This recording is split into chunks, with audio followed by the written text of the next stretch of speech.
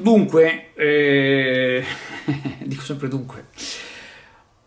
eh, pensavo di aver concluso con le pubblicazioni relativamente al, alla vicenda di questi dipendenti CTV che sono stati licenziati ma non sono stati licenziati perché si sono licenziati loro eccetera eccetera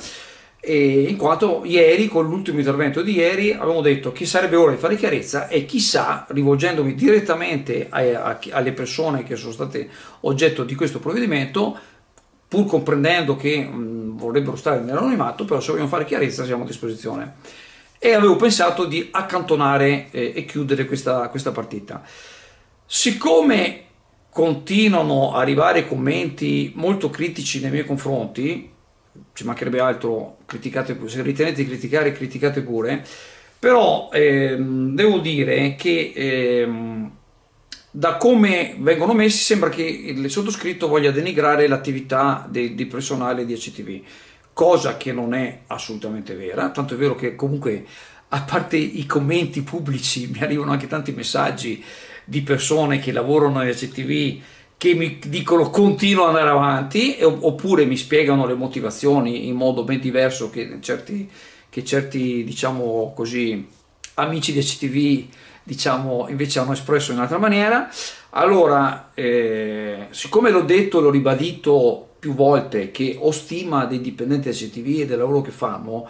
ma non è che lo dico adesso che ho pubblicato le cose, lo dicevo anche prima e vorrei ricordare in particolare due interventi che ho fatto in passato, uno in difesa di un comandante della CTV che a Chioggia era stato eh, offeso e praticamente eh, quasi aggredito da, da, de, da, da una ragazzetta eh, di Palestina e poi da suo papà e l'ho difeso a spada tratta perché aveva ragione a, a spada tratta. In più ho difeso un'altra volta quando un avvocato di Bologna che un amico, dietro un amico siamo in contatto quasi tutti i giorni, perché una volta Pelestrina aveva criticato il comandante del vaporetto, che non è la stessa persona, non so neanche chi era, non so neanche chi è. Nel primo caso so benissimo chi è, un amico, nel secondo caso non sapevo neanche chi fosse, perché praticamente lui aspettava di, di, di, andare con la bicicletta a bordo, siccome c'era la coda era andato a fare il giro, poi era tornato e ha dovuto aspettare ancora. Allora aveva mandato una lettera sul gazzettino in cui diceva delle cose secondo me sbagliate e io sono intervenuto eh, difendendo il comandante del CTV.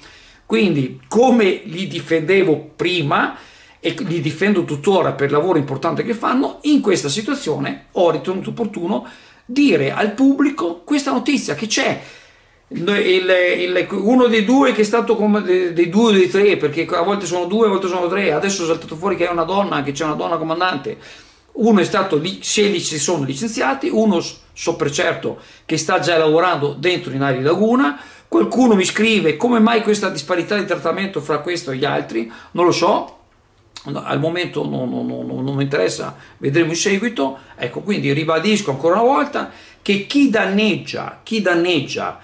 la, la, la, la professionalità e l'immagine dei dipendenti CTV non è certo comparato a Andrea o Chioggia Azzurra che scrive notizie, ma chi ha fatto qui quei, quegli comportamenti che purtroppo vengono recepiti da tanta gente mettendo tutti i personali accettivi nello stesso piano, cosa che non è assolutamente vera. Il motivo di questo mio ennesimo intervento è proprio per difendere i, i, i, quel personale CTV che sono bravissime persone, che sono veramente legati al loro lavoro, al servizio e fanno veramente un lavoro facendo proprio gli interessi secondo me dell'azienda ma anche e soprattutto dell'utenza che ha bisogno di essere eh, trasportata tutti i giorni.